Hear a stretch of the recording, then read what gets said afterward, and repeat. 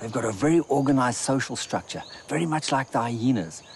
The only difference is the males are dominant here. They're the guys you got to watch out for, and they're powerful. And they've got big teeth like that. These are guys you don't fool with. I've got a little surprise for them here. They're pretty organized, these guys. You're going to see this. I'm going to put my bread down here, a little bit of bread, and they're going to try and distract me on the one side while others try and sneak up and swipe the bread.